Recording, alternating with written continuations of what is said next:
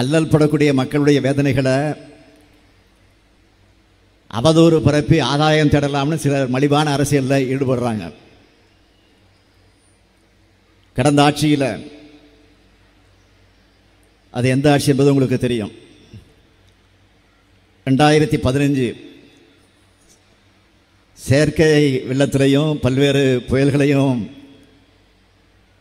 சென்னையை வெள்ளத்தில் மிதக்க விட்ட மாதிரி இப்போ நாம் தவிக்க விடலை. அதற்கு பெஞ்சல் புயலில் நாம் எடுத்த நடவடிக்கைகளும் நம்முடைய பணிகளும் தான் அதற்கு சாட்சி. முன்னாடியெல்லாம் சென்னையில் மழை பெஞ்சா உதவி கேட்டு அல்லலாடுகிற நிலையும் தன்னார்வலர்கள் கிட்ட உதவி கேட்டு சோஷியல் மீடியாவில் பதிவிடுகிற நிலையும் எப்போ வெள்ளம் வடியும்னு காத்திருக்க காத்திருக்க வேண்டிய நிலையும் இருந்துச்சு. ஆட்சியாளர்களை களத்தில் பார்க்க முடியாது. அப்படியே வந்தாலும் என்ன பிரச்சனைன்னு கூட தெரியாமல் வாக்காள பெருமக்கள்னு பேசுவாங்க. மீடியாக்கள் மைக்கை கொண்டு போய் நீட்டினா பதில் சொல்லாமல் ப்ளீஸ் விட்டுடுங்கன்னு சொன்னவங்க தான் இருந்தாங்க கடந்த கால ஆட்சியில். தன்னார்வலர்கள் உதவி செய்ய வந்தால் அவங்கள மிரட்டுவாங்க. அவங்க வழங்கக்கூடிய நிவாரணப் பொருட்களில் ஸ்டிக்கரில் ஒட்டுவாங்க. அந்த காலம்லாம் இப்போ மலையேறி போச்சு.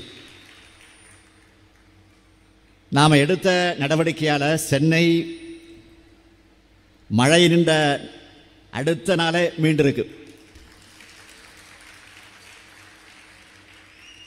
மழை நின்ன உடனே நான் குளத்து தொகுதியை பார்வையிட்டப்போ அங்கிருந்த ஒரு பெரியவர் சொன்னார்.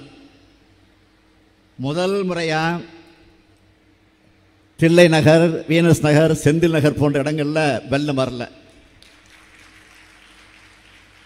இந்த நகருக்கு விடிவு காலம் பிறந்துருச்சுன்னு சொன்னார். விடியலை தருவது தான் உதய உதயசூரியன்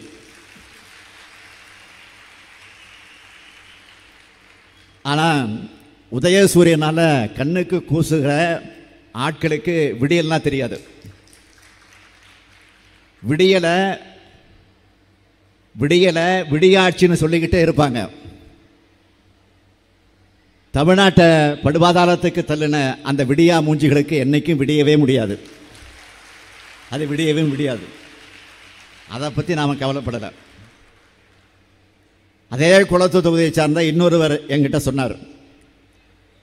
உங்களுடைய பணிகளெல்லாம் ஒரு சிறப்பான வரலாற்றில் ஒரு சிறப்பான இடத்தை பெறும்னு பாராட்டினார். அப்போ நம்ம அமைச்சர் பக்கத்தில் இருந்த அமைச்சர் சேகர்பாபு அவர்கள் என்னிடத்தில் சொன்னார் அண்ணன் இவர் யார் தெரியுமா? இவர் கம்ப்ளைண்ட் பார்ட்டின்னு சொல்வார். கம்ப்ளைண்ட் பார்ட்டின்னு இவருக்கு பேரே உண்டு. எப்போ பார்த்தா நாங்கள் போகிறப்பெல்லாம் கம்ப்ளைண்ட் கொடுத்துக்கிட்டே இருப்பார். உடனே நான் சொன்னேன் புகார் கொடுக்குறவங்களுக்கும் நாம் பணிகளை செய்வோம். நம்ம பற்றி விமர்சனம் செய்யக்கூடியவங்களுக்கும் பணிகளை செய்வோம். ஓட்டு போட்டவங்களுக்கு மட்டும் இல்லை ஓட்டு போட மறந்தவர்களுக்கும் நாம் நன்மையை செய்வோம். இதுதான் உண்மையான பாராட்டு. இந்த பாராட்டுக்கள் தான் இன்றைக்கு எதிர்க்கட்சியை வயிறறிய வச்சிருக்கு. ஏன்னா எவ்வளவு மழை பெஞ்சாலும் முதலமைச்சர் தொடங்கி துணை முதலமைச்சர் அமைச்சர்கள் எல்லாரும் களத்தில் வந்து நிற்கிறாங்க நிவாரண உதவிகளை செய்கிறாங்க நம்மளால் அரசியல் பண்ண முடியலன்னு தவிக்கிறாங்க இப்போ. நம்மை பொறுத்தவரையில் நமக்கு மக்களோட மனசு தான் முக்கியம். உங்களுடைய மனசு தான் எங்களுக்கு முக்கியம். பொதுமக்கள் முன்வைக்கக்கூடிய நியாயமான புகார்களை விமர்சனங்களை அவங்களோட குறைகளை கவனத்தில் எடுத்துக்கிட்டு அதை தீர்க்க செயல்படுறோம். நம்ம அரசியல் மக்களுடைய குரல் கேட்கப்படுது. அவங்களுடைய தேவைகளை தெரிஞ்சிக்க முயற்சிக்கிறோம். அதனால தான் மழை நின்று அடுத்த சில நாட்களிலேயே சென்னை சென்னையோட அடுத்த கட்ட வளர்ச்சிக்கான திட்டங்களை தொடங்கி வைக்க நாங்களும் நீங்களும் இங்கே வந்திருக்கிறோம். எவ்வளோ பெரிய மழை பெஞ்சுது. ஆக முடிஞ்ச அடுத்த நாளே இன்றைக்கு உங்களை எல்லாம் சந்திக்க வந்திருக்கிறோன்னா அதைத்தான் நீங்கள் உணர்ந்து பார்க்க வேண்டும். அப்படிப்பட்ட இந்த விழாவை மிக சிறப்பாக ஏற்பாடு செஞ்சிருக்கக்கூடிய நம்முடைய அமைச்சர் சேகபாபு அவர்களுக்கும்.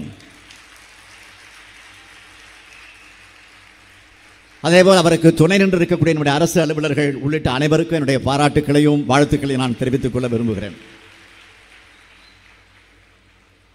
ஆட்சி பொறுப்பேற்ற பிறகு ஒவ்வொரு முறை வடசன பகுதிக்கு வரும்போது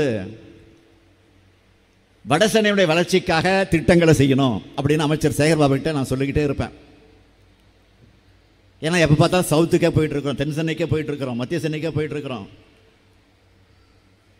வட சென்னையை நாம் ஒரு அக்கறை எடுத்துக்கொண்டு அதனுடைய வளர்ச்சி திட்டங்களை உருவாக்கணும்.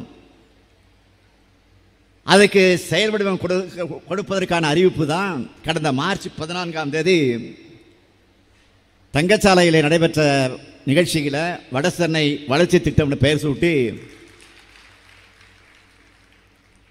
ரெண்டாயிரத்தி தொண்ணூத்தாறு கோடி ரூபாய்க்கான எண்பத்தேழு திட்டப்பணிகளை அறிவித்து தொடங்கணும். தொடங்கி வச்ச எட்டே மாதத்தில் அந்த எண்பத்தேழு பணிகளில் இருபத்தொன்பது பணிகளை முடிச்சு இன்றைக்கி மக்களோட பயன்பாட்டுக்கு கொண்டு வந்திருக்கிறோம். இன்று வால்டாக் சாலையில் நடைபெறக்கூடிய இந்த நிகழ்ச்சியில் ஆயிரத்தி முந்நூற்றி முப்பத்தி மூணு கோடி ரூபாய் மதிப்பீட்டில் எழுபத்தொன்பது புதிய பணிகளையும் தொடங்கி வைக்கிறதுல நான் பெரும் மகிழ்ச்சி அடைகிறேன். வள்ளலார் நம்ம சென்னையை தர்மமிகு சென்னைன்னு சொல்லுவார். இந்த ஊருக்கு வந்தால் நிச்சயம் நம்ம வாழ்க்கையும் குடும்பமும் முன்னேறிடும்னு நம்பி வந்தவங்கள சென்னை என்றைக்கு கைவிட்டதில்லை. அப்படிப்பட்ட இந்த சென்னை மாநகரத்துக்கு மக்களால் தேர்ந்தெடுக்கப்பட்ட முதல் மேயராக நான் பொறுப்பேற்று இந்த சென்னையை சிங்கார சென்னையாக வளர்த்தெடுக்க திட்டங்களை உருவாக்கினேன். இன்னைக்கு முதலமைச்சர் என்ற பொறுப்பில் பல்வேறு திட்டங்களை தொடங்கி வைக்க வந்திருக்கிறேன். என்னை தலைமைச் செயலகத்தில் சந்திக்க வரக்கூடிய வெளிநாட்டு தூதுவர்கள் பல பேர் சொல்லுவாங்க மறக்காம உன்னை நிச்சயமாக சொல்லிட்டு போவாங்க. சென்னை சிட்டி எப்படி டெவலப் ஆனது எப்படி டெவலப் ஆயிருக்க இதுக்கெல்லாம் நீங்கள் தான் காரணம்னு அவங்க சொல்கிறத கேட்கும்போது எனக்கு மகிழ்ச்சியாக இருக்கும். அந்த மகிழ்ச்சியை விட மனநிறைவை விட இந்த மாநகரத்துக்காக இன்னும் நிறைய செய்யணும்னு என்ற எண்ணம் தான் எனக்குள் அப்போது வரும். வளரும்.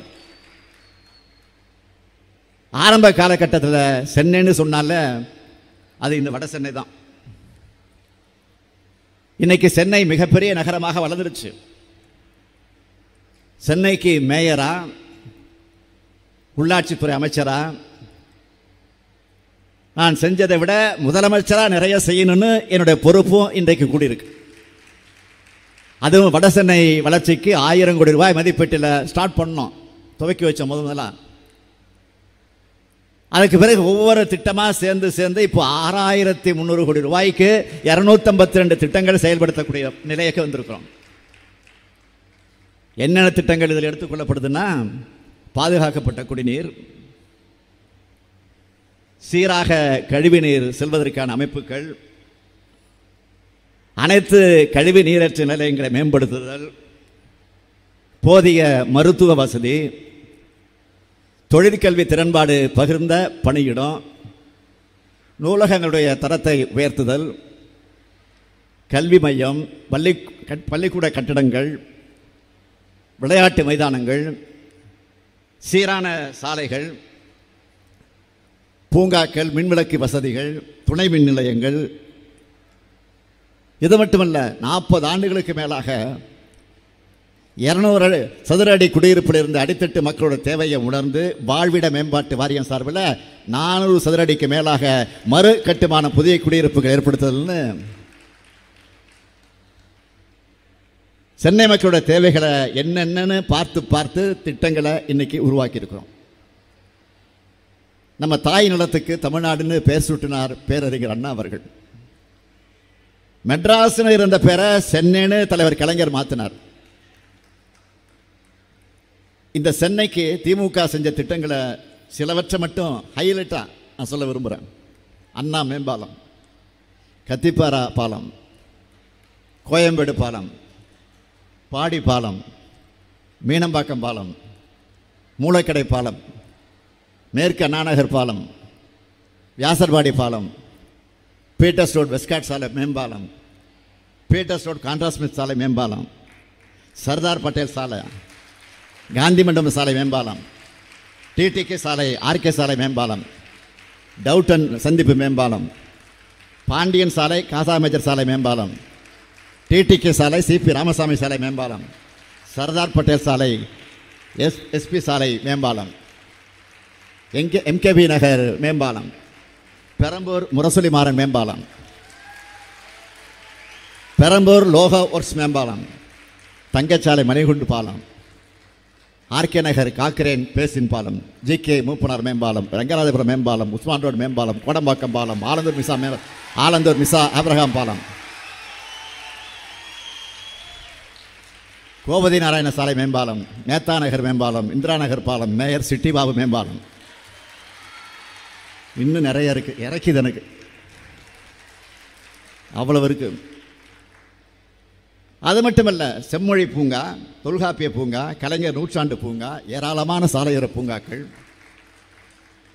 கோயம்பேடு காய்கறி அங்காடி கோயம்பேடு பேருந்து நிலையம் மெட்ரோ ரயில் தலைமைச் செயலகமாக கட்டப்பட்டு இன்னைக்கு பெரிய அரசு மருத்துவமனையாக இருக்கக்கூடிய ஓமந்தூரார் மருத்துவமனை கட்டடம். கிண்டியில் கலைஞர் நூற்றாண்டு உயர் சிறப்பு மருத்துவமனை. OMR ஓஎம்ஆரில் IT corridor Tidel park Nemmeli மற்றும் மீஞ்சூரில் கடல்நீரை குடிநா குடிநீரா குடிநீராக்கக்கூடிய திட்டம் இன்னும் மிகப்பெரிய பட்டியலை போட முடியும். அதனால தான் எப்போவுமே சென்னை என்பது திமுகவுடைய கோட்டையாக விளங்கி கொண்டிருக்கிறது.